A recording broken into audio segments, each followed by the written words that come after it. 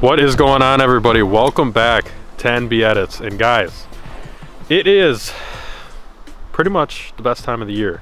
At least for as far as our channel goes, because that means it's ice fishing time.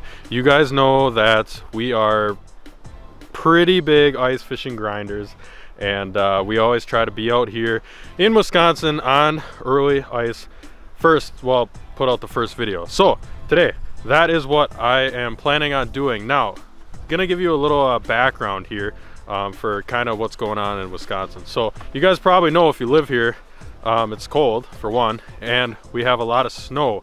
But what we don't have a lot of is ice. We really do not have a lot of ice. So um, me and special guest, drum roll, John Lehman from MinnDak Outdoors have been up here in northern Wisconsin all morning and we've been looking for ice. We've been checking all the lakes that I usually come up to right away and well first lake we went to was wide open. Second lake we went to um, it was froze but the spot that I normally fish was open so we like well I walked around and let's just say I got a little wet so went to my grandparents dried out my stuff blah blah blah whatever didn't work out so we are now at another lake and um, we did find kind of safe ice. Walkable ice, I will say, and we don't know if there's fish there. We walked and checked it first. Uh, now we got all of our stuff. We got John's live scope, my live scope, and just a couple rods. We are gonna make a hike. It's about like, I don't know, we gotta go around like this one body of water to like this back bay part that's froze, but we don't know if there's fish there. We don't know if we're gonna catch anything, but that's uh, kind of where we're at. Just wanted to pick up a camera, tell you guys we're out here trying, we're doing it, and yeah, I guess get ready for an adventure. We're gonna go see if we can get on some early ice fish. Stay tuned. Well, we are on the trail going back to the little bay here. Um, as you tell to the right of me, this is the lake that is partially frozen so unfortunately can't walk across it like I would want. So we made this little trail here because we already went back and checked it. And uh, we're we're just walking in the woods here. Not very great. A lot of trees a lot of random uh, stumps and rocks and all that good stuff. And turns out live scope units really light so it makes it nice and easy to carry through here. We got a little bit to go but it just wouldn't be an early ice send without a little adventure that's all i'm saying.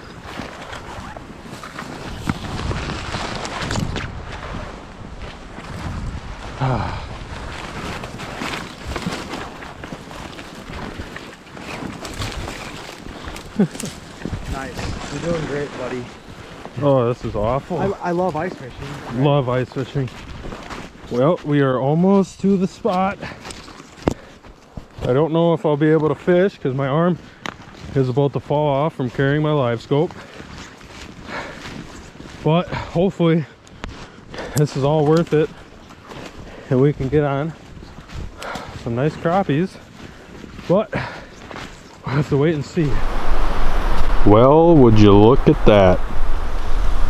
We've got ourselves a frozen little lake. Oh, we have made it to the spot where we walked out uh, probably about half an hour ago and checked. As you can tell behind me you can see my little trail out there we did spot out and the ice is walkable. Now this lake I have been to before. Um, recently actually I went this year. This is where we filmed one of our crappie videos from the summer and yeah there's a lot of crappies back here. But do they stay during the winter?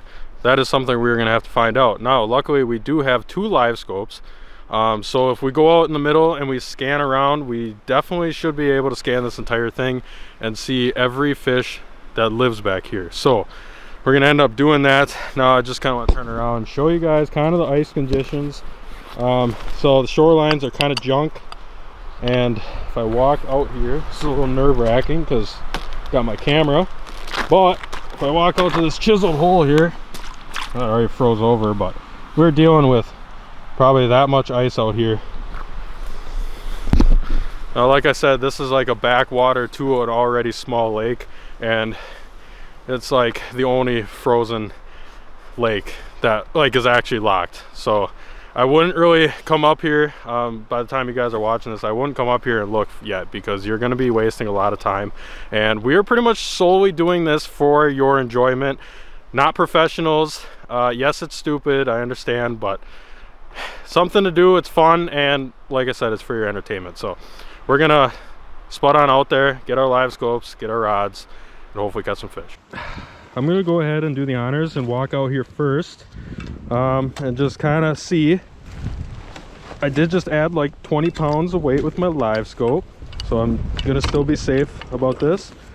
But we're gonna go out and just drill a hole and just see if there's any fish. And then uh, if I if I find something, well then John's gonna come out here and he's gonna join me, and we're gonna just start hammering some crappies.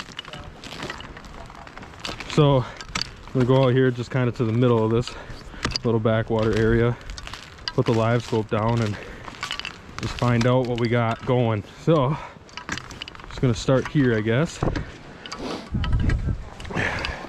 Chisel the first hole. I'll actually show you guys how much we're dealing with. I do have my spuds here just in case if I fall in like I did earlier today so I can drag myself out.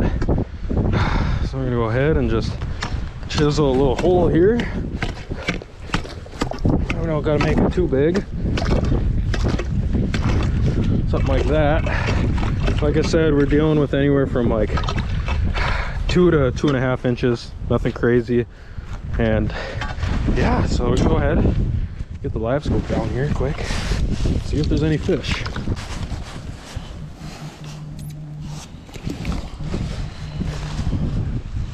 All right, well, I believe I see some fish on my live scope. We're gonna go ahead and do the first drop of the 2022-2023 season. And uh, yeah, we're just gonna see if we can get a fish here. See myself dropping down. See if we can get ourselves a little crappie.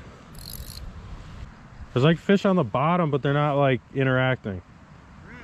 So what does that mean? Are you seeing a lot of fish or? There's a decent amount that are swimming. They're not even like coming to look at it though. They might just be like in the trees. I don't know. It's hard to say. Like there's fish here. I just don't know what they are. I feel like even a small bluegill should come look or something, right?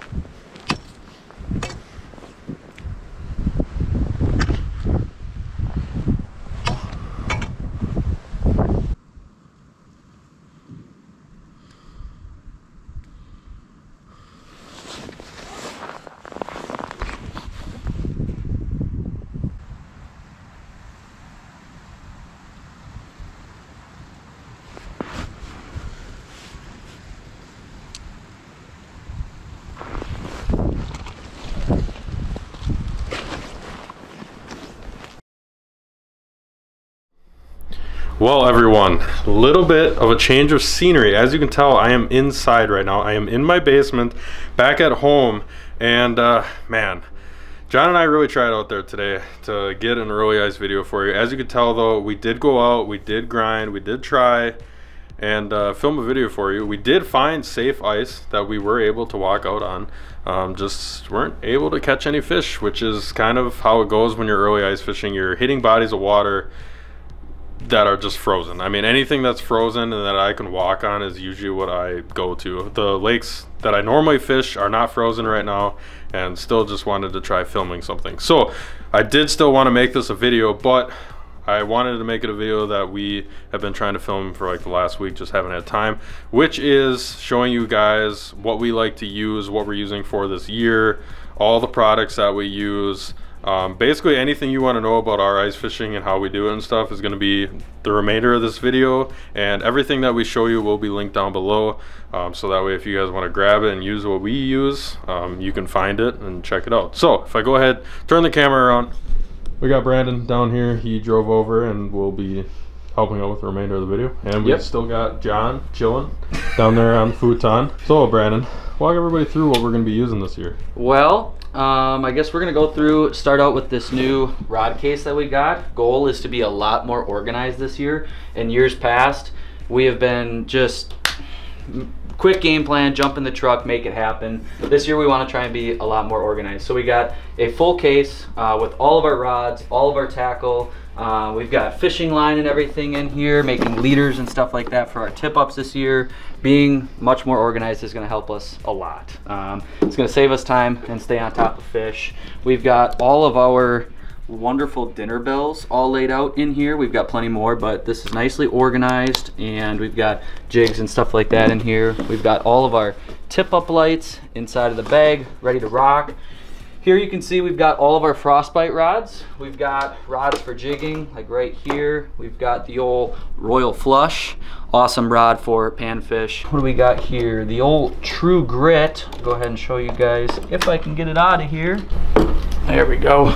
We got the old True Grit ready to rock. Now, this is going to be used for catching big pike on our iFish Pro setups. Um, obviously, can't use these all the time. You guys have seen us do a lot of tip-up fishing. We do a lot of tip-up fishing, but on those days where it's not so windy, we don't have a lot of snow drifts and stuff like that. We love to set up the iFish Pros. Uh, True Grit, gonna be a great rod set up for walleye, pike, stuff like that. Uh, we've got every one of these rods set up with a assortment of different Piscifun reels. Uh, we've got the Viper X, you've got the Carbon series, um, all great reels. Like Nick was saying, if you want to use anything that we use, uh, everything is going to be linked down below. So moving forward, we already shouted out the old iFish Pro. Like I said, we love to use these, but the old bread and butter, beaver dams. Um, this is all we use when it comes to tip up fishing. Buy these and they'll pretty much last you your entire lifetime as long as you take care of them, oil them up and stuff like that. So we went through, got all of them, uh, restrung up new leader lines and stuff like that. Hopefully, once some of our bigger bodies of water are actually frozen over and get locked up, we will be on top of some walleyes very soon. Next, we've got this lovely bad boy here that might have just saved Nick's life today. You want to talk about what you're wearing? So I did not show this in the video, um, but our first scouting mission this morning before we hit the lake that you guys saw, um, I did end up falling through the ice. Now it was kind, it could have been prevented, obviously. Um, I am kind of risky when it comes to early ice. I know I don't show it all the time because it's it's hard to film, obviously, especially when you're falling in the water because camera gear does not like water. But uh, yes, I did fall in, and I was testing out a new product from Piscifun. This is their bibs, and they have a jacket. I was just wearing the bibs today, um, but I was super impressed because the spot that I did fall in, it was over my head. I would not have been able to touch the spot. I was probably in 10 feet of water when I fell through, and these things actually floated up my legs right away, and I was able to like back off and get up on top of the safe ice and crawl out. And all I did, my grandparents live close to the lake. I went there and just threw them in the dryer. It took a little bit just to kind of get them dry again, but super impressed with how well they float. And the nice thing about these things are they're pretty much, I don't want to say exactly like some of the other ones, but um, the nice thing is they're super good quality for about half of the price for other stuff on the market that is this style. So I would definitely recommend checking them out. And like I said, I field tested it today and I can say that it does float. And I don't know, I don't want to go too extreme and say that saved my life, but it definitely did help me get out and uh, get back on top of the hard water. And yeah, so there is that. So definitely check out these. These are what we're going to be running this year for pretty much every single ice fishing adventure. Fall around to the outside here. We got probably one of the most important pieces that we run, obviously, on this channel. This is the Garmin Live Scope.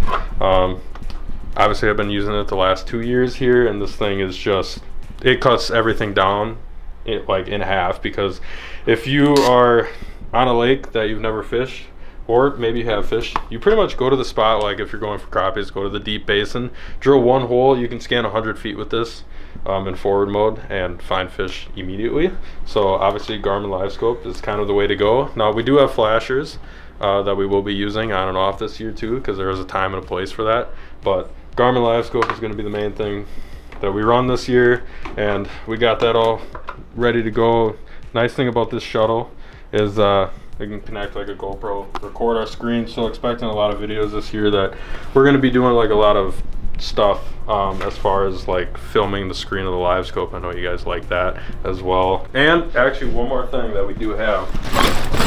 One more really important thing that we did purchase for this year is, well, we've always used an underwater camera. Um, we did film like our first underwater fishing video last year and you guys seem to really enjoy it. Uh, so we did a little bit of upgrading. So the one that we did have was not HD. It did film, but like I said, not HD, not great footage. Um, pretty much use it just for scouting. So we ended up buying a new one. This is a Marcum, not sure exactly which one it is off the top of my head, but it records in full 1080 HP. And um, yeah, so it's gonna be really great for underwater footage because um, we want to incorporate that a lot. One, because it's super interesting to actually see how fish react, and it's just really fun to watch. So expect a lot of underwater footage. That's pretty much the last thing that we do have here. I guess it's kind of simplified. We don't really have a whole lot of stuff, but that's everything that we're going to be running this year. So yeah, that's pretty much the full lineup. Um, as Nick said, having the underwater camera is going to be really nice. We're going to be able to uh, film a lot more videos and scout um, in HD this year. It's going to be great being able to have that and being able to record. But yeah, this is pretty much everything simplified, organized. That was the main goal this year. Um, just kind of cut down on having so much stuff with us. Obviously having the camera gear and stuff like that, it's still going to be a lot. Um, but just being able to cut down on some of the supplies and going through and just staying clean, everything organized, always having stuff with us no matter what the circumstance is. That was kind of our main goal this year. So yeah, everything here has been field tested from the jacket to the bibs, rods, reels, everything, tip ups, We've tested everything and it all works. I think that's pretty much gonna wrap up our video here today. Hopefully you guys enjoyed. We did find safe ice. Wasn't super safe. Nick did fall in today, but we found walkable ice. Did some ice fishing. Unfortunately, they did not catch any fish. Um, I didn't shoot a deer this morning, so that sucks. But to all of our hunters out there, good luck. If you guys are looking for safe ice, be safe. Um, don't do anything too crazy. But yeah, here's the whole lineup. Hopefully you guys enjoyed, and we'll see you on the next one. Tight lines from NBS.